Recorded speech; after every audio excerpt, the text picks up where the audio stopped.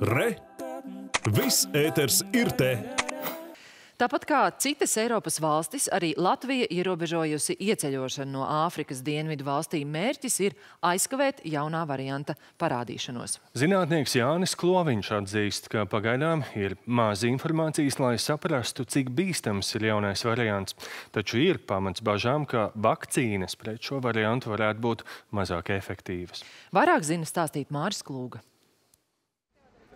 Valdība lēmums aizliegt Latvijā ieceļot personām, kas pēdējās desmit dienās uzturējušās Dienvidāfrikas Republikā vai vēl kādā no septiņām reģionu valstīm.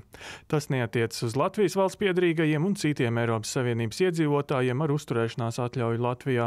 Šajos gadījumos pēc ieceļošanas obligāti jāveic Covid-19 tests, kā arī jāievēro pašizolācija.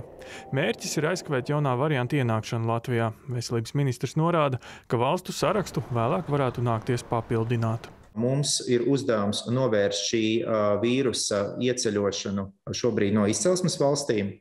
Un tajā brīdī, ja tiks konstatēts, ka šis vīrus paveids ir izplatījies lokāli vienā vai otrā valstī, tad būtu jālem par ieceļošanas ierobežojumu arī no tādas valsts. Visticamāk, tas varētu būt tas turpmākā notikuma attīstību. Bet šobrīd mēs par to runājam tikai pieļāvuma formā. Zinātnieks Jānis Kloviņš stāsta, ka jaunajā variantā uztraukumu rada mutācijas pīķa proteīnā, kas ļauj koronavīrusam iekļūt cilvēku šūnās.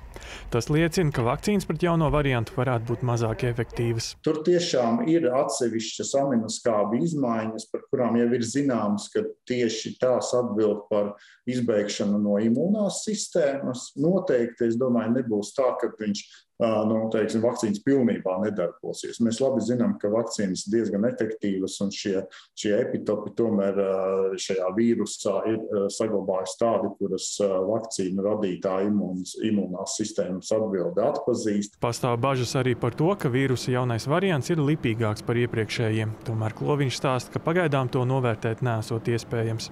Viņš norāda, ka arī brīdī, kad tika atklāts delta variants, no mutācijām vien vēl nevarēja prognozēt, ka tas kļūs dominējošs dominējošs. Par lipīgumu secinājums varēšot izdarīt, redzot, kā jaunais variants izplatīsies. Tā nopietnākā informācija, kas, par, kas tiešām liek uh, uztraukties, varbūt ir tas, ka tieši konkrēti Dienvidāfrikā ir novērojama tieši šī vīrusa varianta pieaugums.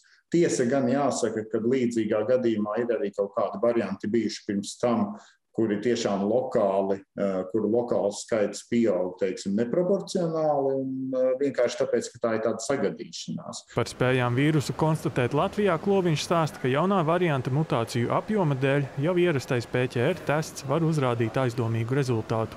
Tādā veidā varēs atlasīt paraugus, kurus nepieciešams sekvencēt, lai laiks potenciāli bīstamo variantu varētu apstiprināt.